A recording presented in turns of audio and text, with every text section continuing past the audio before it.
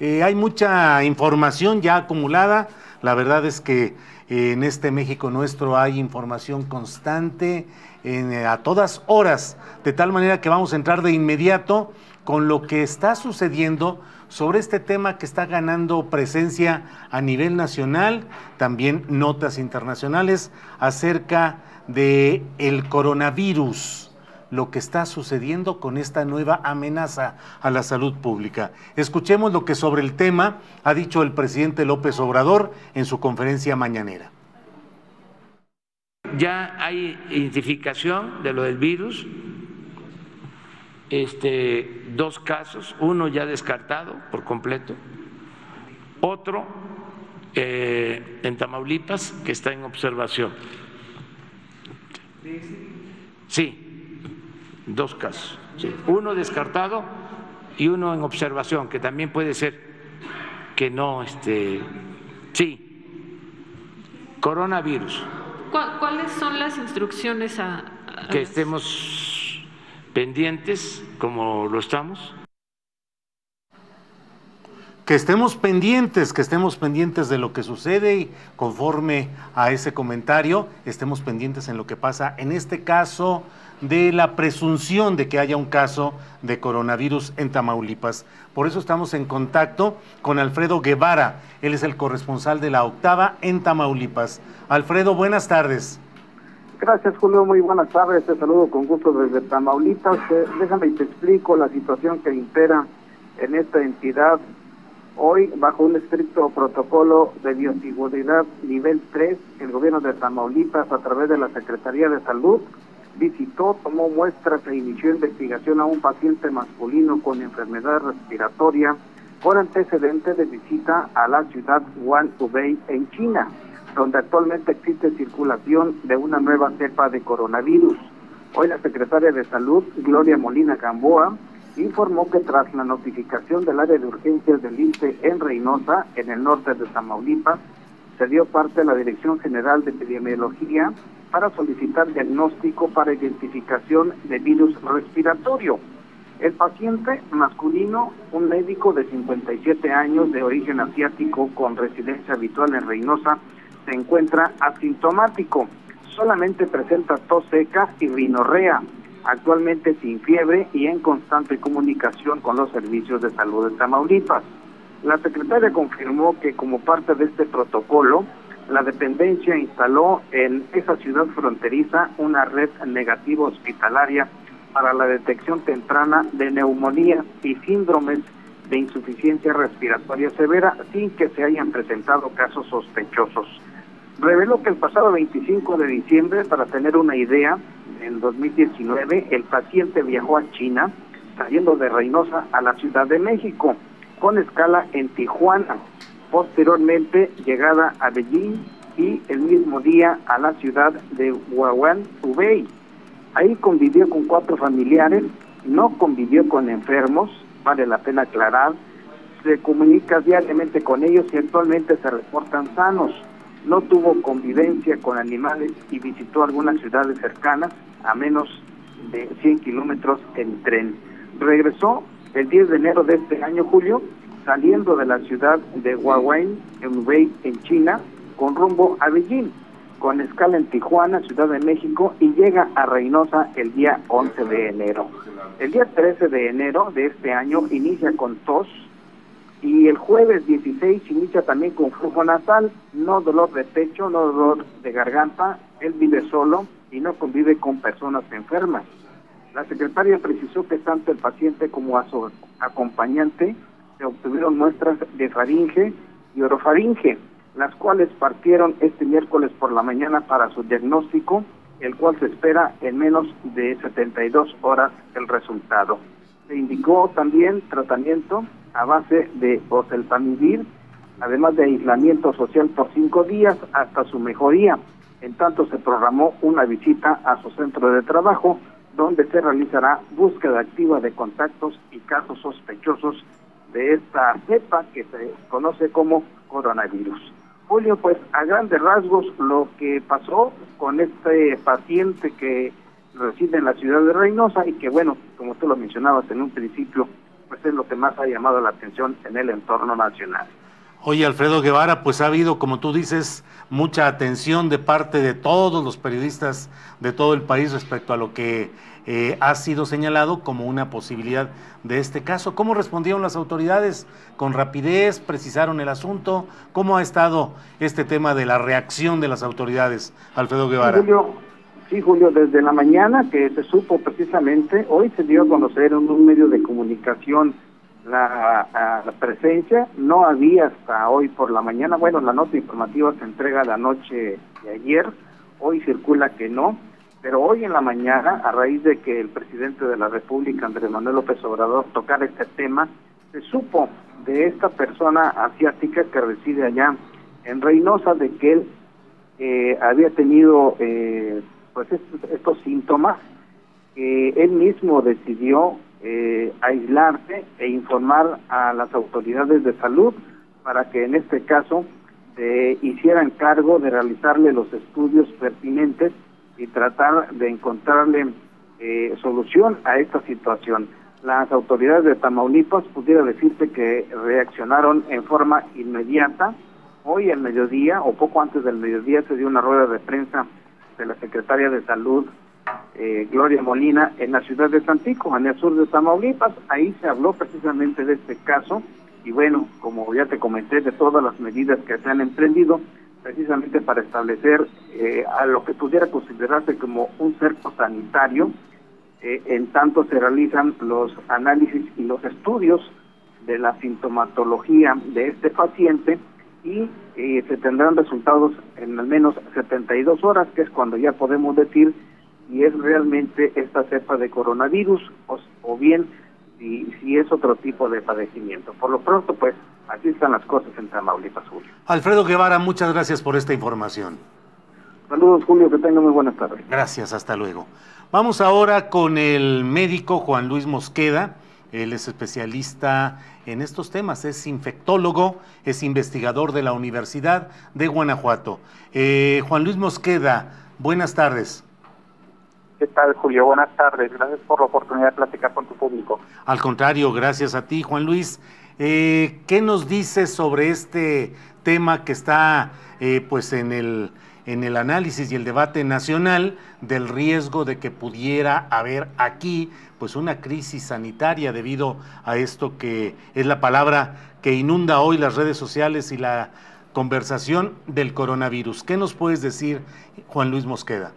Yo creo que ahorita estamos muy distantes de un problema, de una emergencia sanitaria al respecto, particularmente en nuestro país, pero creo que es el momento de esto que están haciendo ustedes, de informar a la población. En estos temas siempre lo que más eh, causa revuelo es la alarma de la gente, que la gente se empieza a preocupar de más. Creo que ahorita estamos solo para informarnos, para estar al pendiente. Ayer la Secretaría de Salud emitió un oficio un aviso epidemiológico a las unidades de salud para que todo el mundo esté al pendiente, por si llega a haber algún caso nos demos cuenta, como ocurrió en Estados Unidos, fueron muy eficientes, tuvieron un caso y lo identificaron de inmediato, así debemos ser eficientes nosotros, y si llegara a haber, tener la capacidad de identificarlo y contenerlo para que no haya casos adicionales.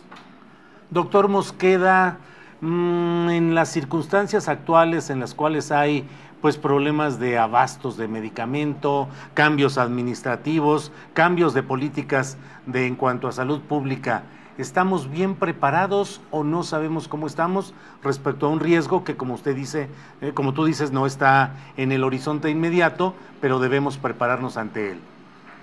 Yo creo que es importante señalar que nuestro país tiene un sistema de salud plenamente establecido. Fuera de estos detalles que hemos visto recientes y que cada quien los mide a su manera, eh, un sistema de salud, por ejemplo, que aprendió mucho de la pandemia de influenza del 2009. Claro. En esa pandemia de influenza llegó mucho para nuestro sistema de salud en aprendizaje, en la respuesta a estas enfermedades, reforzamiento de lo que hay en los hospitales y reforzamiento de los laboratorios que hacen diagnóstico Hoy todo eso permanece como una herencia, ¿eh?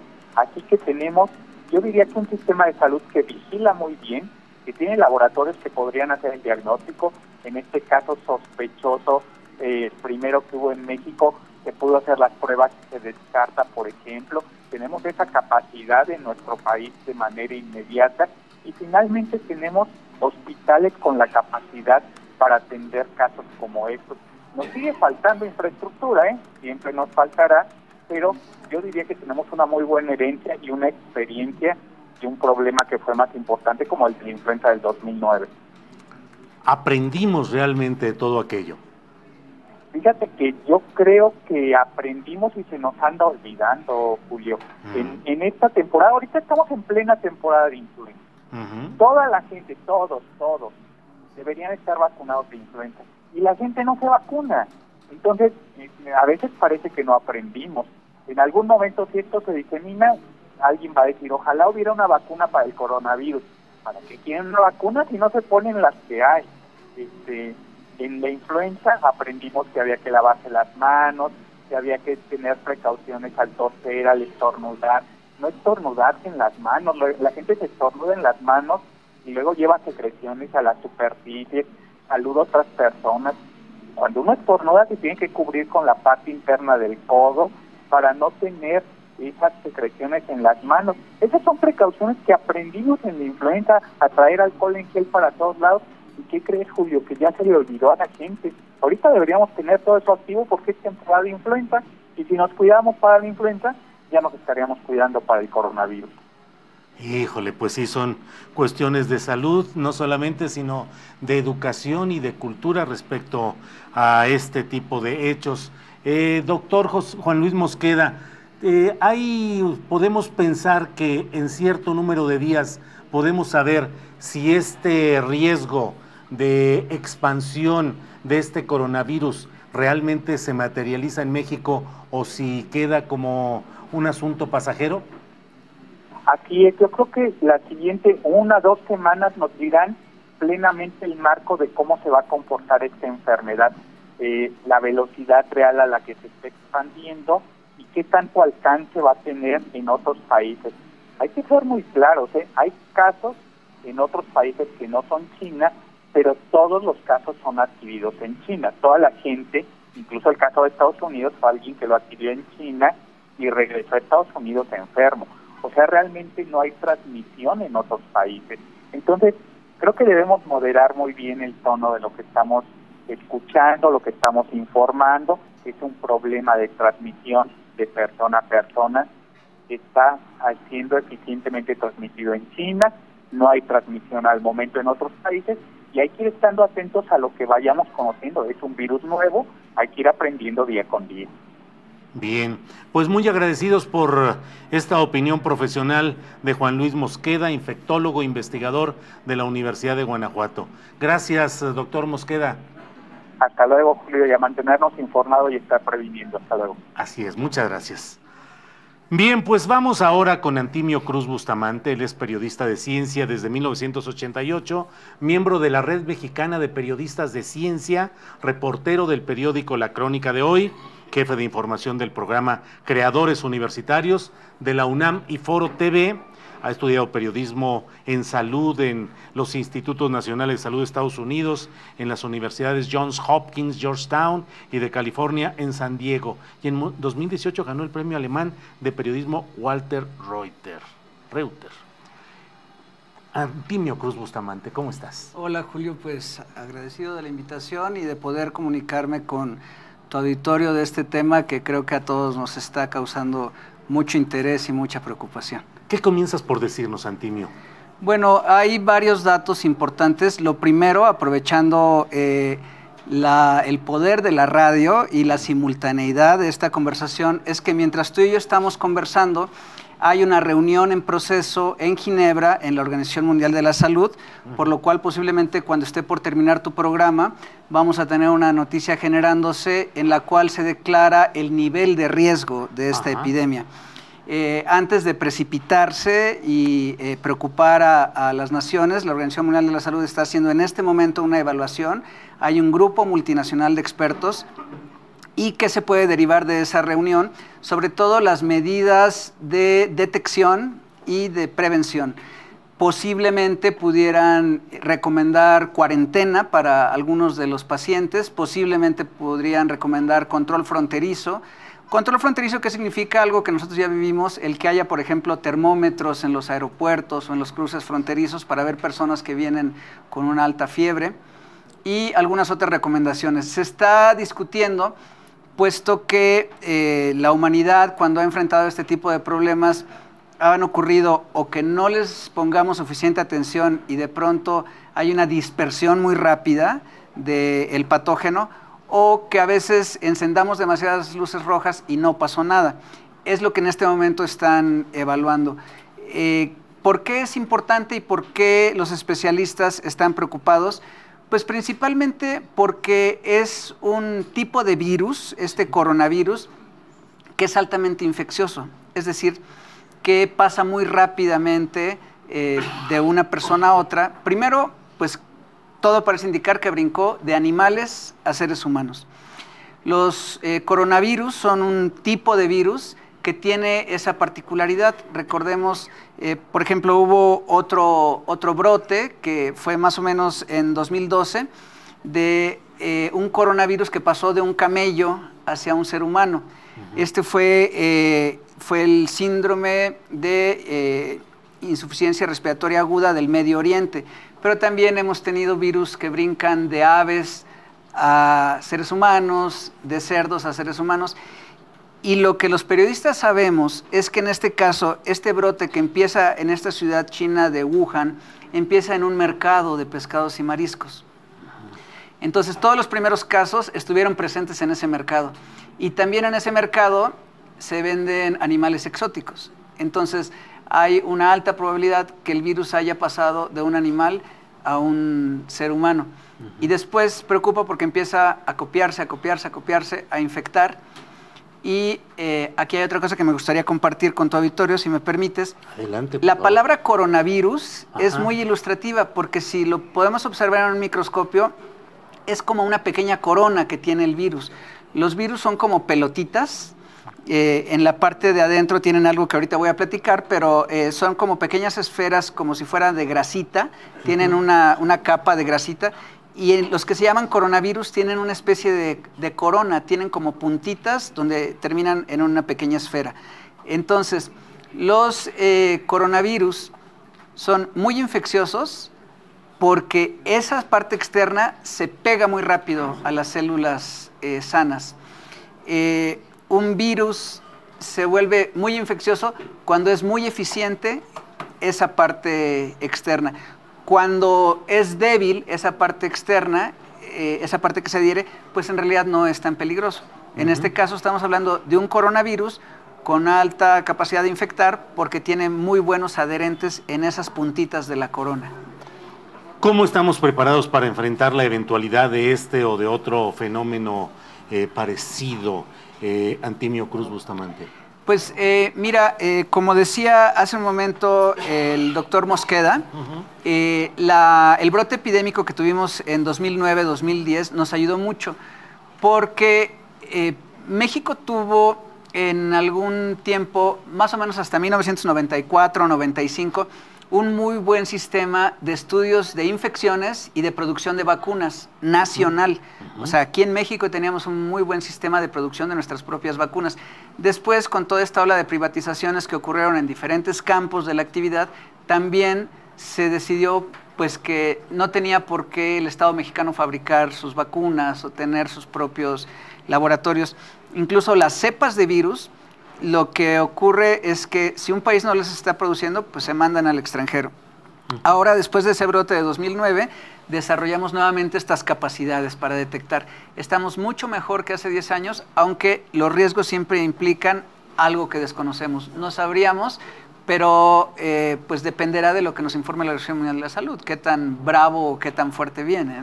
La sociedad mexicana, ¿cómo estamos predispuestos a cumplir realmente con los señalamientos que nos hagan, las invitaciones, las campañas, o somos desdeñosos y con grave riesgo de no hacer las cosas bien? Eh, pues tenemos debilidades culturales, ¿no? El hecho de no este, acudir, por ejemplo, a vacunarnos, eh, que es algo que está creciendo, pero también hablemos de que en este caso no hay vacuna.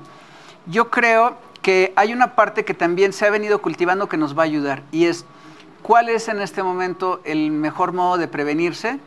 El mejor modo de prevenirse es el más importante, tener bien nuestro sistema inmune.